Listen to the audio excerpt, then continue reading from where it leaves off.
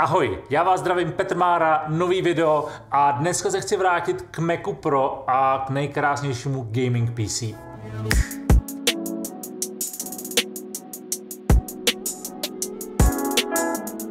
Mimochodem, tohle video je sponzorováno společností NordVPN.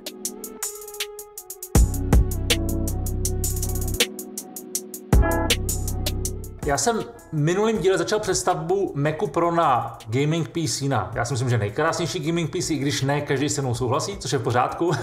Minule jsem do toho přidal RAM, teď tam je 96 GB, a přidal jsem tam dva SSD disky, jeden pro Windows, jeden pro Mac a dneska chci pokračovat a chci tam přidat uh, GeForce uh, 3080 Founders Edition kartu, díky za půjčení, a připojit to k nějakému jako většímu gaming monitoru a zkusit si něco zahrát pod Windows, jak se to bude chovat. A zároveň zjistit, jak se bude chovat ten Mac, když do něj dáte Nvidia kartu, která není podporovaná. Jenom abych dal uh, kontext, Apple v principu má ovladače jenom karty, pro karty Radeon, pro AMD, Mimochodem, ty ovladače těch karet se přidávají vždycky jenom v updateu systému, takže ono, když koupíte nový AMD, tak ten Mac ho ještě nemusí podporovat a vlastně ani tam není možnost ty ovladače doinstalovat. Prostě musíte počkat, až Apple zabalí jakoby do toho updateu toho systému. Takže Apple není úplně vstřícný k tomu, když si Mac upravujete podle sebe. Což pro vás asi není novinka, pravděpodobně jako pokud Apple nějakou dobu sledujete, tak víte, jak ta firma uvažuje.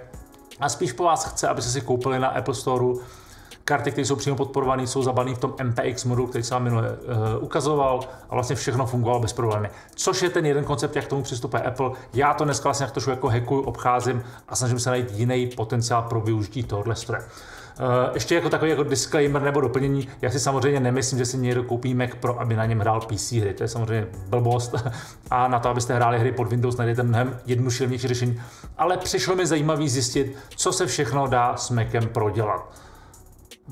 Možná, že bychom tam mohli pak zkusit ještě ty kolečka, jak to bude jezdit, ale kdo ví, co přinese budoucnost. V každém případě, dnešní plán je dát do toho GeForce kartu, vyzkoušet ve Windows, popsat, jestli to funguje s XDR monitorem, anebo se Samsung monitorem 49 palců, který tady mám.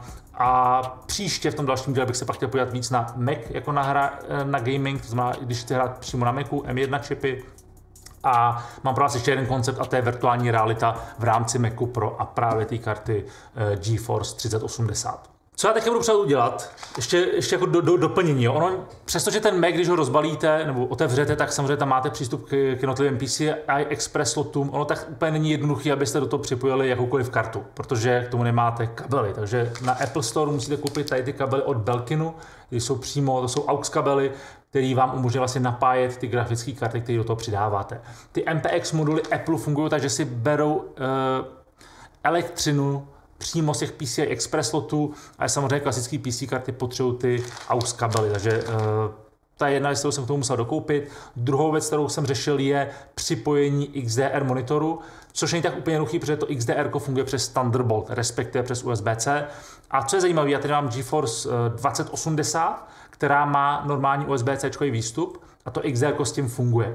Problém je, že 3080 ta nová generace už USB-C nemá, čili já ještě čekám na jeden kabel, který je schopen HDMI posílat z HDMI portu do USB-C, to znamená obrácenou cestou, než to standardně ty kabely umějí, protože většina kabelů umí z USB-C do HDMI, ale já to potřebuji poslat na druhou stranu, což je specifický kabel, který bych otestoval když tak příště, to znamená pravděpodobně XDR tady s tou kartou fungovat nebude.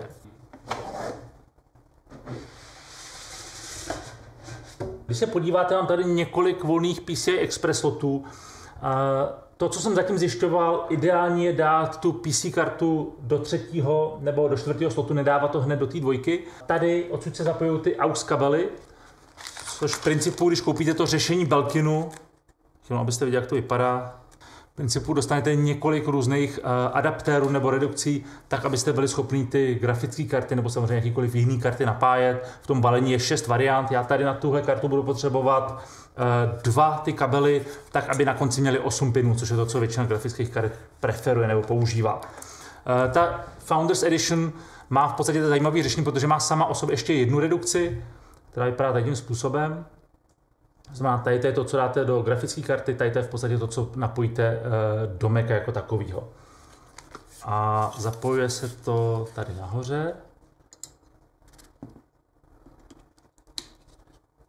A ta karta je v principu připravena. ještě jedna menší vsuvka. Věc, kterou už jsem zkoušel, pokud mě sledujete na Instagram, tak jste ji i viděli. Já tady mám tady tu externí grafickou kartu Razer Core X, pokud se nepletu to jméno, což je v podstatě jednoduché řešení, kdy se schopný pomocí Thunderboltu připojit externí grafickou kartu, ať už k PC nebo k Macu. Já jsem to zkoušel k Macu pomocí AMD Radeon, eh, pár týdnů zpátky a budu o tom točit video jako samostatný. Teď v tom mám ještě starší 2080 grafickou kartu, kterou jsem testoval uh, s tím Mac Pro jako externí řešení, který funguje pod Windows samozřejmě, protože to je GeForce. Uh, pod Macem samozřejmě nefunguje, ale já jsem ji odsud i vyndal a chtěl jsem ji dát dovnitř do toho Maca Pro a tam se objevil jako první problém. Tady ta karta je strašně široká, má přes 30 cm a v principu nedostanete ji dovnitř, protože ten slot není dostatečně velký. Když se podíváte na tu 3080, tak ona je o nějaký 3 cm kratší, takže to tam pasuje dobře. Tady to tam nepasuje, co jsem čet na diskuzních fórech různých Hackintosh maniaků, tak oni dělají to, že normálně tady vyřezávali kus těch plastů té mřížky, aby, se, aby jako tu kartu tam dovnitř zasunuli, což nebyl úplně můj cíl, takže já jsem eh, nakonec jako vzdal dostat tady tu kartu dovnitř a jsem rád, že můžu otestovat tu 3080, která je menší a líp dovnitř bude pasovat. Pokud chcete přidávat kartu do PCI Expressu, tak tady máte takový zámeček, který vám ten slot otevře, abyste byli schopni tu kartu zasunout dovnitř. To znamená, teď to máme odemčený.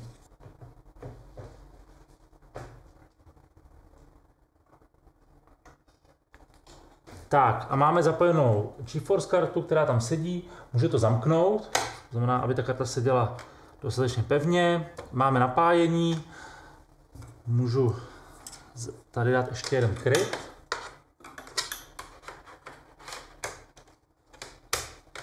Tady je teďka vidět ta eh, GeForce 3080 eh, Founders Edition má 3x DisplayPort, jedno HDMI, což je celkem rozdíl oproti té 2080, tak ta má navíc USB-C. Jo, a přes to USB-C jste k tomu schopni normálně připojit ten XDR monitor a fungovat s ním v 6K rozlišení. Což pokud eh, správně uh, rozumím té myšlence, tak to je věc, která tam byla připojená pro virtuální realitu jako VR Link, a pravděpodobně se to řešení úplně nechytlo, takže v té novější generaci není. Aspoň tak jsem to pochopil, když mě opravte, doplňte uh, v rámci komentářů, ale je škoda, že to ty nový, novější karty nemají, protože ten přenos přes to USB-C je samozřejmě v daném případě, kdy používáte řešení, jako je specifický monitor o teplu, jednodušší. Tahle ten monitor jakoby přes HDMI, HDMI nepřipojíte. Čili kartu máme nainstalovanou, já si myslím, že teď je čas vyzkoušet to eh, v rámci macOS, jak se bude chovat, a v rámci Windows. Důležitá věc, abych nezapomněl na našeho dnešního sponzora, a to je společnost NordVPN, se kterou spolupracuji posledních několik let. A jak pravděpodobně už dobře víte, NordVPN je schopný vám zajistit zabezpečení připojení na internet tak, aby ten, kdo je ve vašem okolí, nevěděl, co děláte. Ať už to je váš provozovatel internetu, váš mobilní operátor. Výhodou NordVPN je, že oni zahazují logy toho, co děláte, takže máte vyšší anonymitu. A teď neříkám, že musíte dělat zrovna něco jako ilegálního, ale mít jako určitou anonymitu a svůj pohyb po internetu pod určitou kontrolou mi přijde jako velký benefit. Věc, která je zajímavá a která mě na NordVPN ještě baví a jaký lidi používají. Občas některé služby fungují jenom v zahraničí, což se týká třeba některých televizních služeb, takže se můžete připojit do Spojených států, tvářit, že jste ve Spojených státech a tam fungovat. A funguje to i obráceně. Když cestujete, tak se můžete připojit do České republiky a používat české služby, které jsou daný geolokačně, jako je třeba česká televize nebo i vysílání a tak dále. Mají nový protokol Nordlinks, který je mnohem rychlejší a tu rychlost internetu při zapnutí VPN snižuje jenom o nějakých plus minus 20%, což není zase tak moc, když si uvědomíte, že ten datový přenos je šifrovaný. A co mě baví teďka hodně, je nová funkcionalita, která se jmenuje Presets, kde si můžete nastavit prostě presety, což v principu znamená, že tady třeba mám jednu volbu downloads, kde si zvolím, že se chci připojit do České republiky a chci používat ten rychlej protokol Nordlinks, pak můžu mít browsing, kde si řeknu, že chci se připojit do Spojených států a tvářit se, že jsem ve Spojených státech. A výhodou je, že když to zapnete, tak vy si tam rovnou můžete přidat odkazy nebo zkratky, a to jak na webové stránky, anebo na aplikace. To znamená, když víte, že některé aplikace chcete používat jenom v případě, že máte zapnutou VPN, tak si tam můžete přidat, klepnete tam to ikonku a ta aplikace se spustí. Což je novinka, která je tam teďka asi 3 nebo 4 týdny. Pokud byste chtěli NordVPN používat, mám na to více jak 60-70% slevu a ten detail vidíte teďka pode mnou a nebo přímo v popisku videa. Čili pojďme se teďka podívat nejdřív do Windows. Ehm, ten monitor je jako monstrózní, jo? snad je to trošičku vidět, zahnutý 49 palců. Mám ho připojení přes DisplayPort, tak zapneme Mac Pro a podržíme Alt, aby jsme si mohli vybrat, jestli chceme startovat do Mac nebo Windows a já si rovnou myslím, že to nebude fungovat. Z jednoho prostého důvodu. Eh, tím, že ten monitor je připojený do té GeForce karty, tak eh, Mac s tou kartou nekomunikuje, to znamená, nedá nám možnost si vybrat. Tak já to zkusím udělat poslepu, jestli to bude fungovat, a nebo když připojím ještě druhý monitor, který bych dal do toho Radeonu, který je vevnitř. Jo. Tak schválně, ten Mac nastartoval, teď jako tak v hlavě odhadu, že by teďka na tom displeji, ho měl připojený, bylo vědět, jestli chci startovat do Maca nebo do Windows. Tak já dám šipku doprava jako Windows a dám Enter a schválně, jestli to naběhne. Tady zkusíme vybrat správný, tady, zkusí, tady zkusíme teďka vybrat správný vstup, je tady HDMI 1 a DisplayPort. Jo, super. To vypadá jako, že bootují, nebo to aspoň zkoušeli bootovat Windows.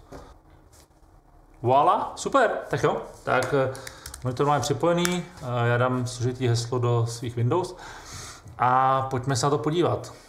Mimochodem, eh, ten Mac Pro samozřejmě má v sobě teďka dvě karty, to znamená Radeon, GeForce. Je schopen pracovat s obojím, takže rozlišení monitoru máme 3080 nebo 3840 na 1080. Já už tady mám nainstalovaný ovladače NVIDIA, takže ta grafická karta teďka funguje, běží přes ní celý ten systém.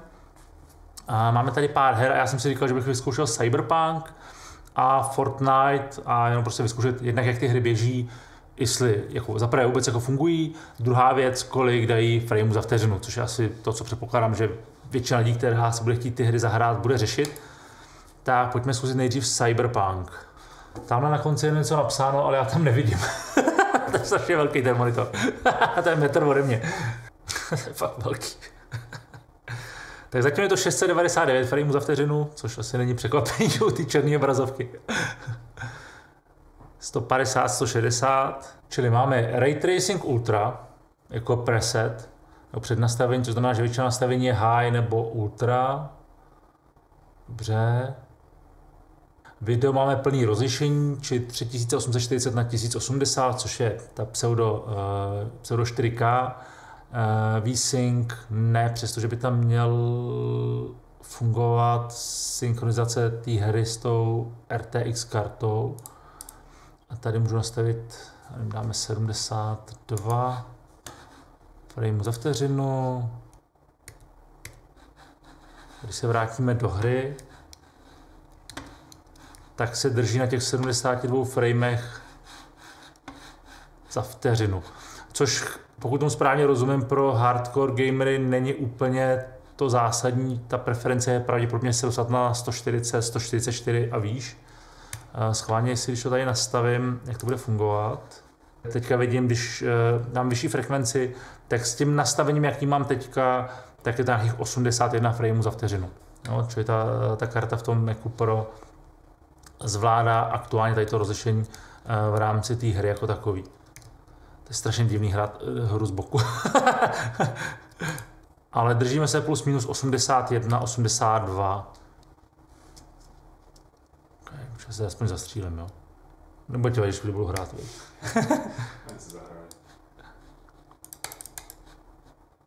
Aspoň se můžu vymlouvat na to, že jak je to z boku, jak je to těžký.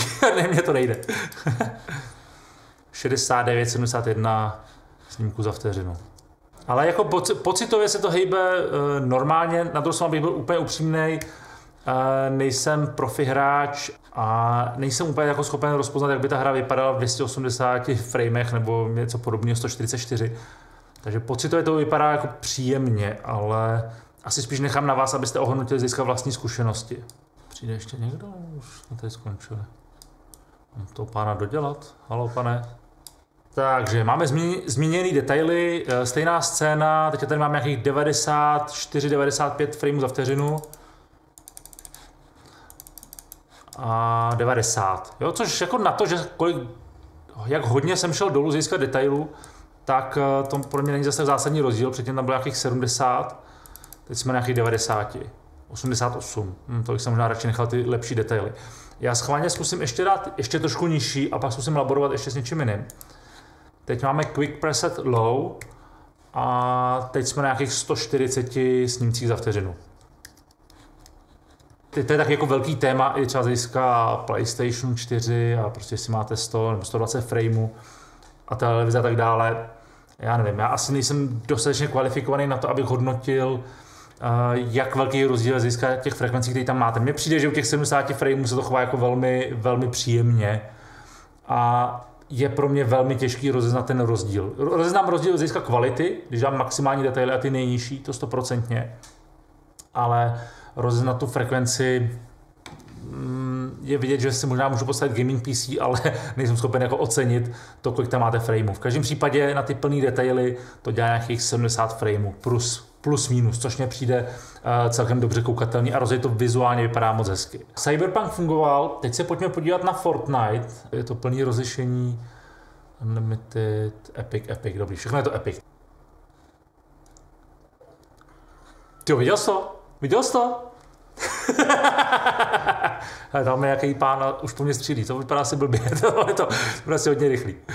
Já mám jenom tady ten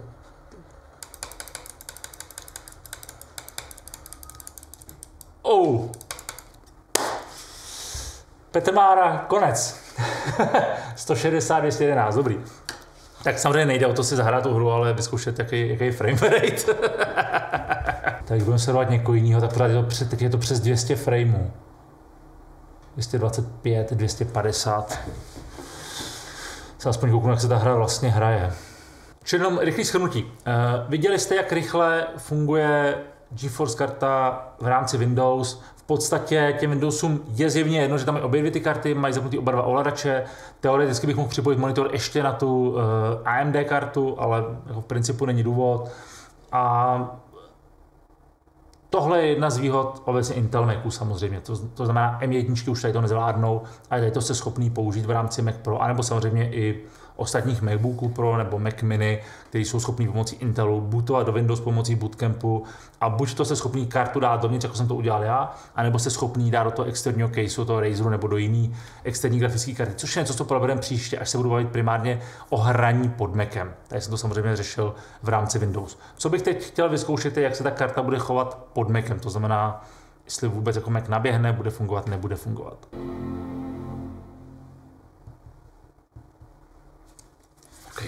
Oh. Mimochodem, tady to je jednoduchý způsob, jak můžete při startu obecně macOS vybírat, jestli chcete jít na macOS systém a nebo na Windows, což já jsem předtím udělal poslepu, teď to samozřejmě vyberu, tady vidět Macintosh HD, to znamená, nabutujeme do Maca. Čili do Maca jsme se standardně dostali, ta GeForce karta je pořád vevnitř, Mackie je schopen vidět na úrovni, že ví, že má obsazený slot, což je to, co můžete vidět tady v té aplikaci, která se jmenuje Expansion Slot Utility, kde v principu můžete kontrolovat jednotlivé sloty a tady to mimochodem jako krásně vidět.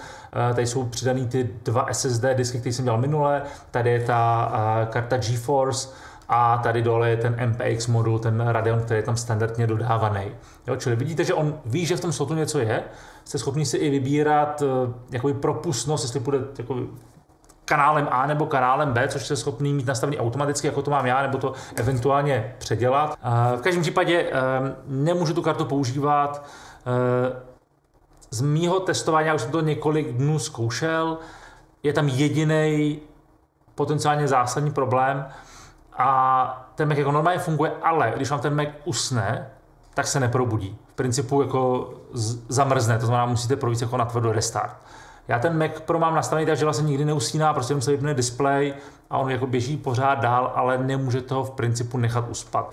E, tady to byla ukázka toho, jak do Mac Pro můžete dát GeForce kartu, která sice není podporná v rámci macOS, ale samozřejmě funguje v rámci Windows a Bootcampu. Co mě zajímá, protože nejsem profesionální gamer a nejsem schopen vám dát sofistikovanou reakci na to, jestli je to dobrá sestava nebo ne. Zajímá mě na základě toho, co jste viděli v Cyberpunku a ve Fortnite, je to výkonný gaming PC, a nebo není. Pro mě ten benefit byl získat testování, že je to fakt tichý řešení, to znamená, ne, nehučí tady nic, v podstatě ten Mac Pro má své vlastní chlazení, cítíte nebo slyšíte lehký jako, jako šum, když hrajete Cyberpunk, ale není to nic dramatického, což třeba já osobně preferu.